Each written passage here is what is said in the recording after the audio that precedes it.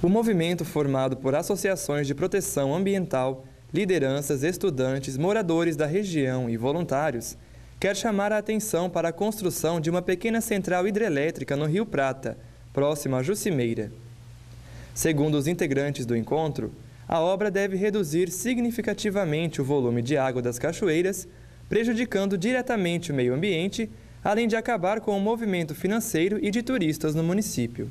Indústria, as empresas, o capital quer explorar a natureza, né? Uh, trata a natureza como um objeto. Né? E a Bíblia nos ensina a natureza é quase uma pessoa. É interessante, os salmos lá, as rios, as plantas, os animais, todo mundo louva a Deus. É quase uma pessoa somos, nós fazemos parte uh, dessa natureza, né? E devemos cuidar como imagens de Deus, né? O prejuízo ele, ele é imenso, porque o município ele não tem é, arrecadação nenhuma com relação a isso aí.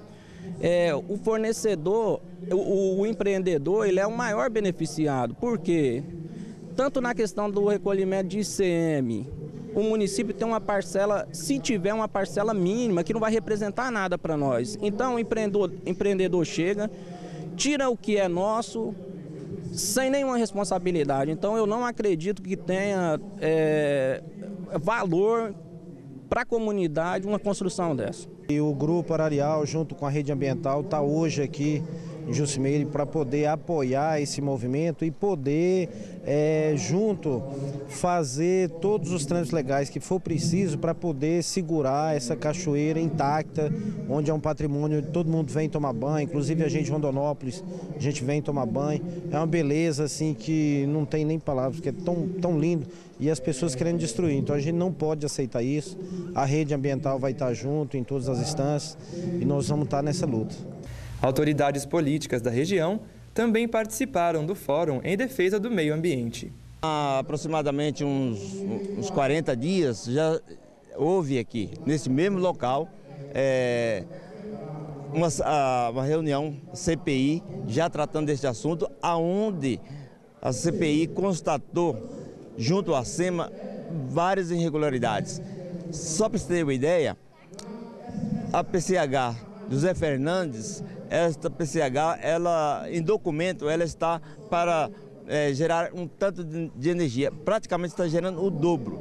Era para ter, para ter inundado metade da área que foi inundada. Então tudo foram, foi feito dentro de fracatuas e isto vem nos eh, prejudicar o nosso povo, a, a beleza que nós temos no município. Acabaram com o Rio São Lourenço, com a PCH José Fernandes.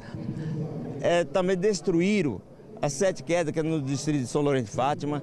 E por último agora, estão querendo destruir a coisa mais bela que nós temos aqui próximo à cidade, que é a Cachoeira do Prata. E isto o povo de Jussumeira não aceita. No final do encontro, foi elaborado um documento para que o Ministério Público tome conhecimento e acompanhe todo o processo da obra. Esse documento ele vai elencar o resultado de tudo que foi, que foi debatido em cima das informações que nós temos de todas as irregularidades que foram cometidas, do, do que não foi feito, você entendeu?